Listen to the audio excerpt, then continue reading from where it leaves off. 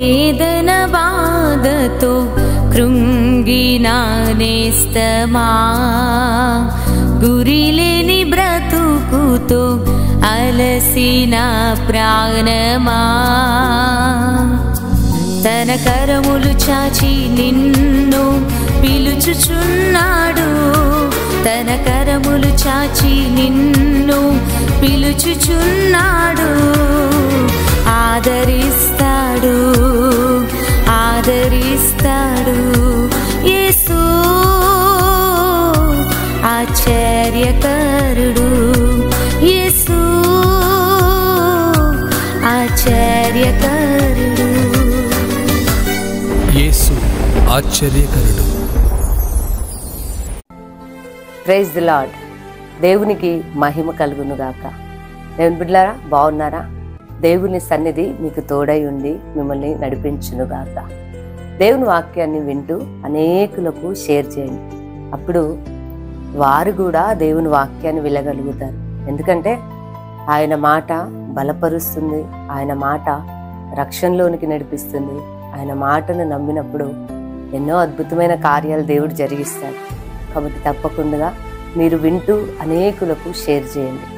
దేవునికి స్తోత్రం. కొన్నిసార్లు శరీరంలో దేవుని బలహీనతతో బాధపడుతూ ఉంటారు. ముఖ్యంగా స్త్రీలు అదే రీతిగా పురుషులు. శరీరంలో బలహీనతలతో బాధపడుతూ ఉంటారు. అనారోగ్యంతో బాధపడుతూ ఉంటారు. బలహీనులుగా ఉండి బాధపడుతూ ఉంటారు. అలాంటి టైంలో ఎన్ని మెడిసిన్ వాడినా హాస్పిటల్స్కి వెళ్ళినా ఎన్ని చోట్లకు వెళ్ళినా కొన్నిసార్లు హీలింగ్ అనేది రాదు. అప్పుడు చాలా బాధపడుతూ ఉంటారు కదా.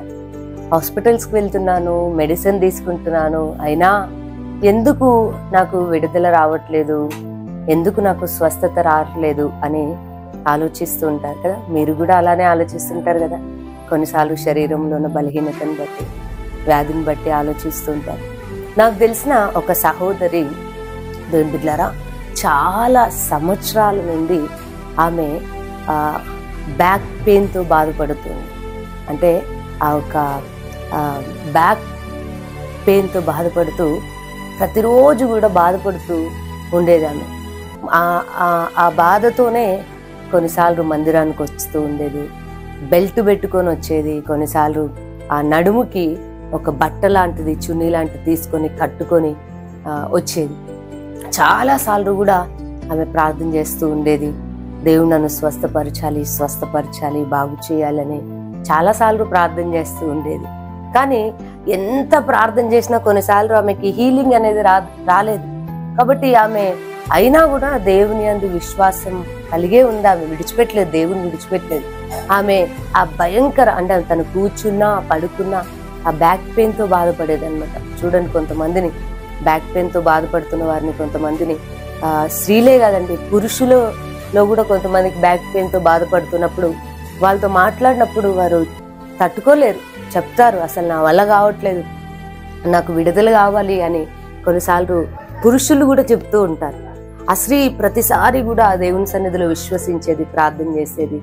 కానీ ఆమెకి విడుదల రాలేదు. కానీ దేవుడు నమ్మదగినవాడు కదండి? ఎందుకంటే ఆయన ప్రతి మూలుగును ప్రతి ప్రార్థనను ప్రతి ఒక్క వ్యక్తిలో ఉన్న బలహీనత దేవునికి తెలుసు. కాబట్టి ఒకరోజు ఆమె ప్రార్థన చేస్తున్నప్పుడు దేవుడు ఆమెకు ఒక వాగ్దానం చేశాడు. ఏ వాగ్దానం అంటే యెషయా నలభై అధ్యాయం ముప్పై ఒకటో వచనంలో వాగ్దానం ఉంది ఏంటంటే యహోవా కొరకు ఎదురు చూచువారు నూతన బలము పొందెదరు. దేవునికి మహిమ కలుగునుగా ఆ వాగ్దానము ఆమె చేత పట్టుకుందండి అంతే దేవునికి మహిమ. ఏం బిడ్డలరా యహోవా కొరకు ఎదురు చూసినప్పుడు నూతన బలం పొందుకుంటారు.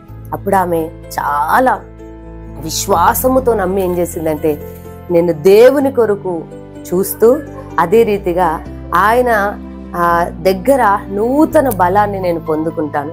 దేవుడు నన్ను స్వస్థపరుస్తాడు అని ఆ స్త్రీ నమ్మినాదంట. దేవుని బిడ్లరా ఎప్పుడైతే ఆమె విశ్వాసముతో అంటే దేవుడిచ్చిన వాగ్దానాన్ని పట్టుకొని నమ్మినాదో నిజంగా ఆ ఒక సహోదరి సాక్ష్యం చెప్పింది ఏంటంటే కొన్ని సంవత్సరాలుగా ఉన్న ఆ బలహీనత ఆ యొక్క బ్యాక్లో ఉన్న పెయిన్ ఆ బలహీనత.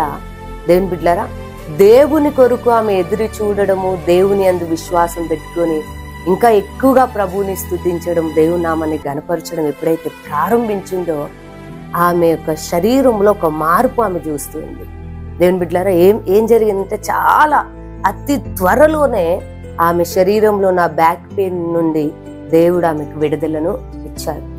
ఆమె మరలా వచ్చి సాక్ష్యం చెప్పింది ఏంటంటే కొన్ని సంవత్సరాలు ఒక నెలను రెండు నెలలో రెండు సంవత్సరాలు మూడు సంవత్సరాలు కాదు. చాలా సంవత్సరాలతో బాధపడాను.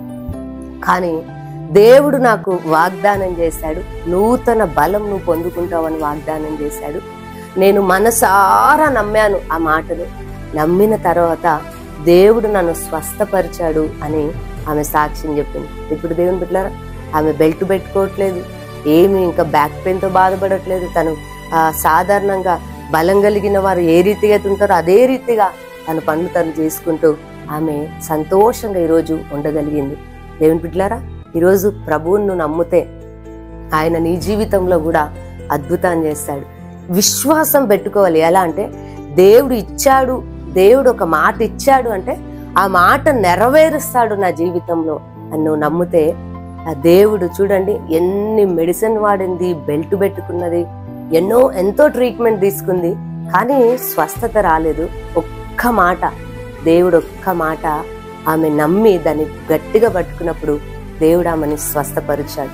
ఈరోజు ఆ స్త్రీ బ్యాక్ పెయిన్తో బాధపడుతుంది కానీ నీ శరీరంలో ఏ బలహీనతతో నువ్వు బాధపడుతున్నావో?